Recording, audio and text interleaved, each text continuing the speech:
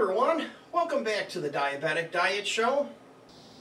Today I'm going to make a really neat dinner. I have a couple of fantastic looking porterhouses as well as some potatoes and I have Brussels sprouts, going to do a cucumber salad. I have a couple of zucchinis here I'm going to throw in the oven with the potatoes and the Brussels sprouts as well as making some biscuits for us. I have my Carrabba's spice blend that I've hacked and figured out. I'll post that in the show notes if you want. And I have some fantastic looking cherry peppers here uh, with a tail on them, some balsamic vinegar. Hey, don't worry about the, um, the ingredients though. You don't have to write all this down right now because if you just go to the website, which is James tdds.blogspot.com or if you click on the subscribe button and then the more button you'll see all the details there of the show recipe. Also don't forget to hit the thumbs up button if you like the show. Now let's get started with things. I need to work on the potatoes. So I've already washed them and I have my chopper and my chopper came with two different cutters. For these potatoes, I'm going to use the quarter inch square. So I literally just drop this in, just like that. It should be locked in there. Just make sure it's locked in there all right. And then we put the potato in. Say goodbye, potato. Boy, I tell you, this sure beats cutting them up with uh, a knife. I gotta move a few things here and make some room. I have the oven preheating, so I need to get these biscuits in next. But let's show you what I'm doing here with this. Look at this.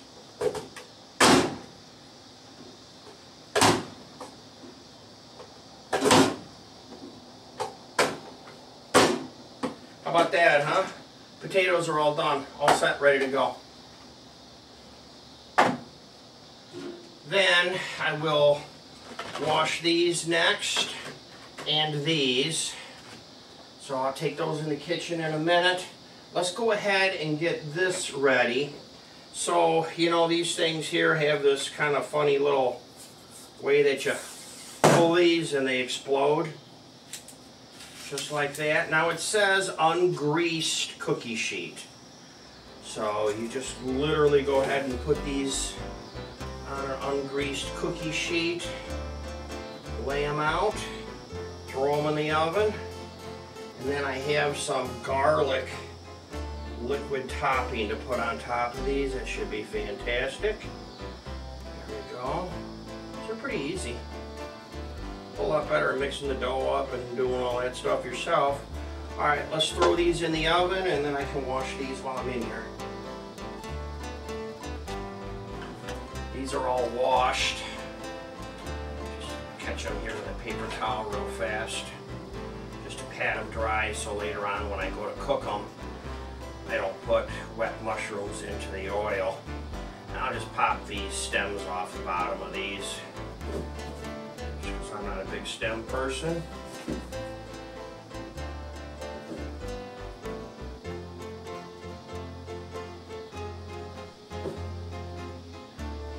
are all set.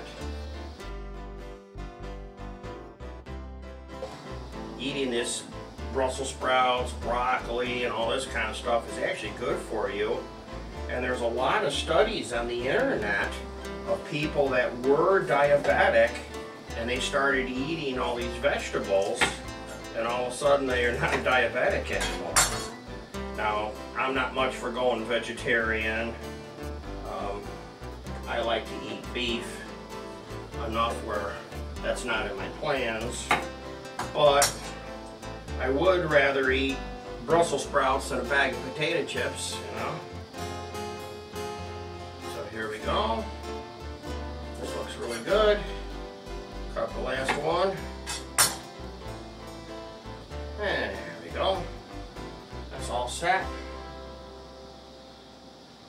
And then I have the zucchini. Now these zucchinis are getting old here. They've been sitting around here, so I just want to get some good material. And uh, I can cut these up. This, the ends look good still. So just kind of thin circles, just like this. I'll just cut this into little pieces real fast. There we go. There we go. That's all set. Now, scoop these up, drop them in here. Just like that. And then, salt and pepper, and a little more olive oil on top. No olive oil is keto, so olive oil is good for you. Here's the pepper. Crack some fresh black pepper.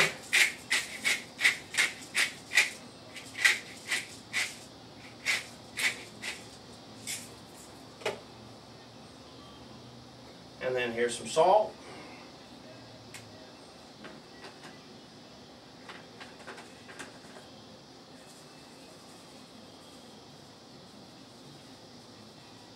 Okay, just like that.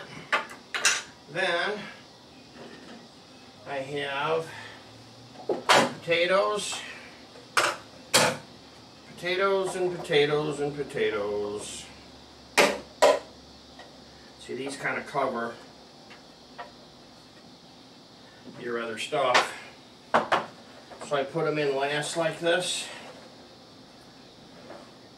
So now we want to salt. Always salt your potatoes and I'm using a garlic sea salt and then another layer of pepper. I love pepper. I think the taste is really fantastic on the pepper. Okay, now let's go ahead and throw this in the oven.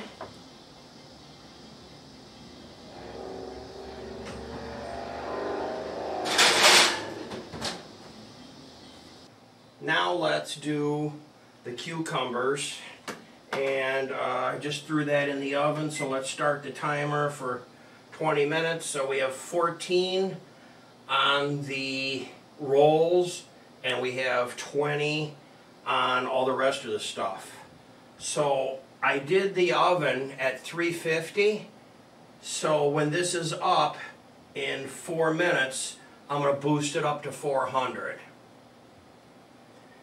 Let's get this cucumber cut up for our salad. Now I have to cut it in half. It's the only easy way to handle cucumber. Cut it in half, cut it in half. Just like that.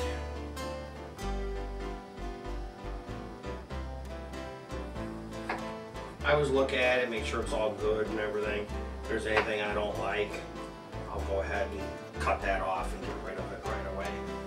So let's go ahead and just cut up for the salad.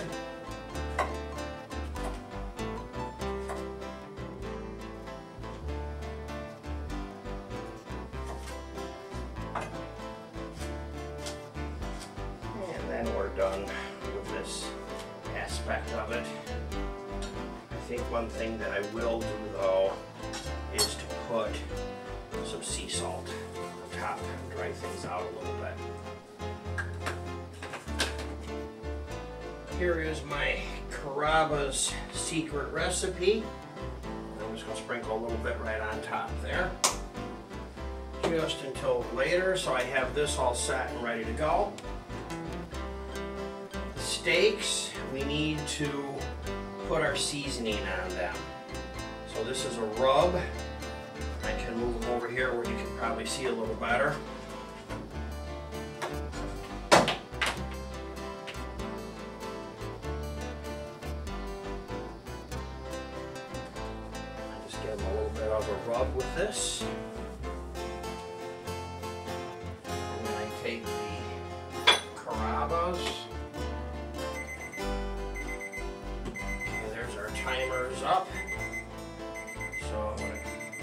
This one.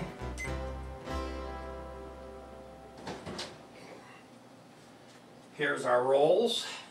This pan is mighty hot. So let's set these aside to cool.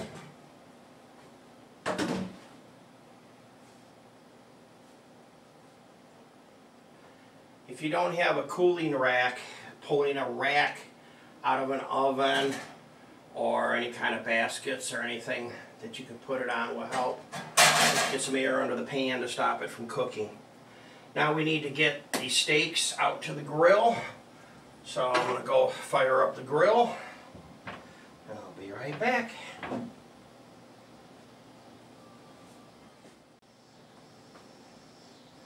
These are fresh out of the oven and they are hot.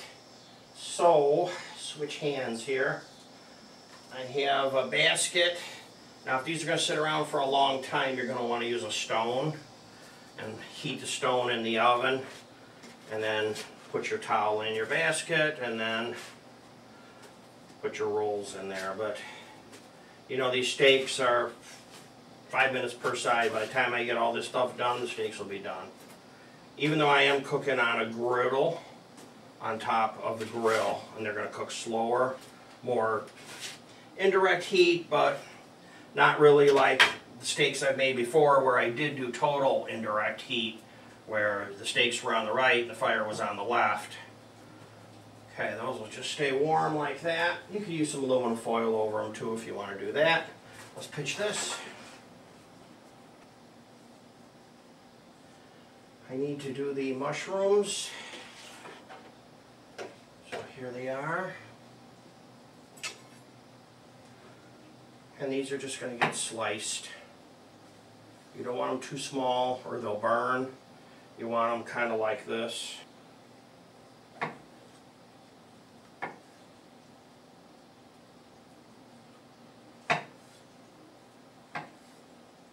There's not much you can do while the steaks are cooking and stuff in the oven, so this is pretty easy. You're kind of done.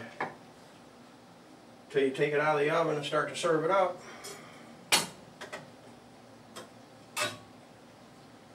We just need to make the sauce for these, so we'll do that next. Now, some people would use sugar. I'm not using sugar on these. I'm using the Truvia, however you pronounce it. And at the end, you might want to use some Parmesan cheese. So here's our mushrooms, olive oil, burner on, olive oil.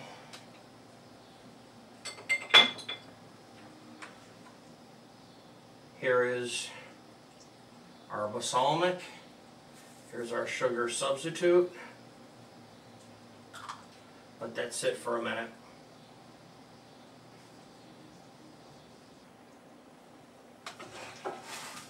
This is looking mighty delicious. Kind of mix this up a little bit. Careful now you don't splash this on yourself because this is going to be hot. You just want it to get a little bit thick. You don't want it to burn. And then you can put your mushrooms in. I'm dropping them against my spatula. Steak is off the grill. Here's our, our sides. A few little cherry peppers. Here's our salad. And then our mushrooms go right on top of the steak, just like that. Those look absolutely delicious. And I have the rolls here. They came out real well. So here's what your rolls are, are looking like. So I'll put one of those on the plate. It's all set, ready to go. This is your quick meal. Thanks for watching.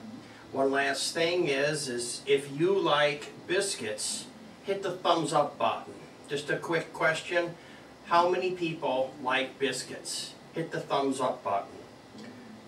This is the meal. Thanks for watching. Goodbye for now.